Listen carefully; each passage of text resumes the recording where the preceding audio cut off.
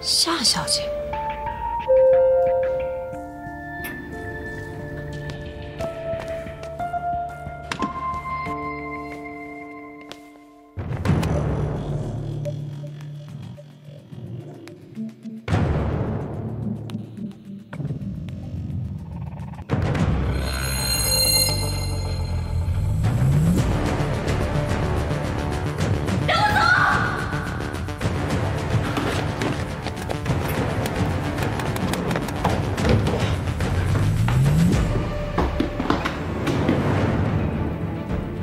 不管再快的电梯，三层之内人的奔跑速度是可以追上的。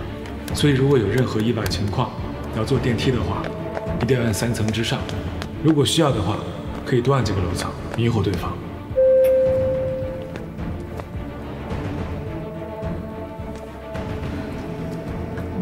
你手边任何东西都可以拿起来当防身武器。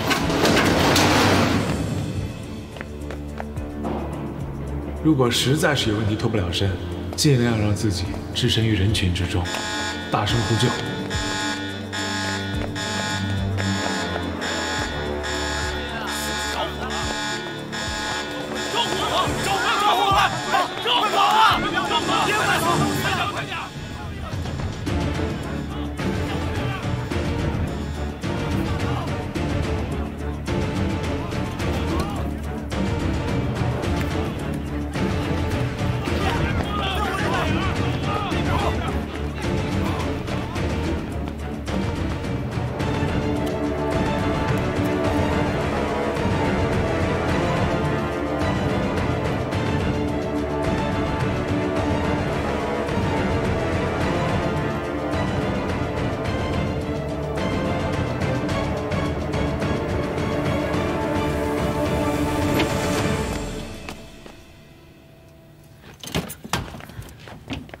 没事吧？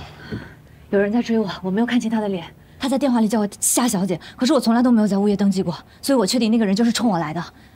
我一进到负一层，我转身就跑，像你说的那样，坐电梯多按了几层，我在中间就下了楼层。我怕有人在家门口守着我。做得好，没事儿，我来了。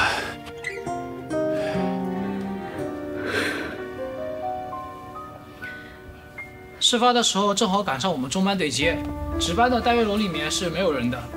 老师，怎么样？李磊他们还在地下车库，我和物业的工作人员对这栋楼进行逐层的排查，没有发现可疑人员。对方应该是趁着火警铃响起之后那几分钟趁乱离开的。我们要调一下监控看一下。啊，没问题，跟我来。行，我知道了。好，嗯。小雪在他爸那儿。那就好。警方抓到人了吗？对方什么来头？为什么要针对我？别问了。这也要保密？对。好吧。小楚啊，我得赶在熄灯之前回部队。假期结束了。跟我一起回去吧，没有别的意思啊。部队更安全，你去了还跟之前一样，你住部队招待所，我住营区。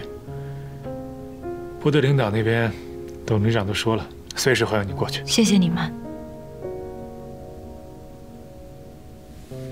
我知道，你都是为我好，包括今天的及时出现。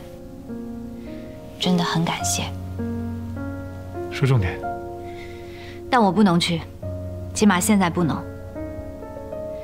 急诊科的人手本来就不够，如果我随便离开，会给其他同事的工作造成更大的压力。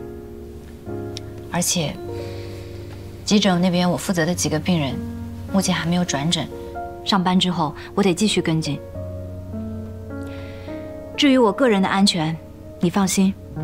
我会自己保护好自己的，随身携带防狼喷雾，不走夜路，不去人少的地方，不随便开门，不给犯罪分子任何接触我的机会。这样，你看可以吗？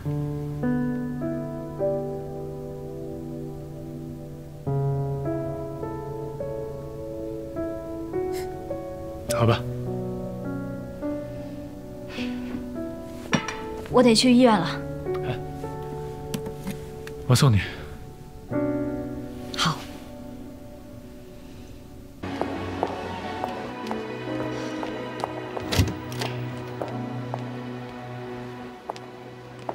还没走啊？谁啊。如果 4S 店通知了，记得把车开回来。你敢让我开？给你练练手，那都是生活必备技能，以后逃命的时候跑得快点。知道了。嗯，我走了。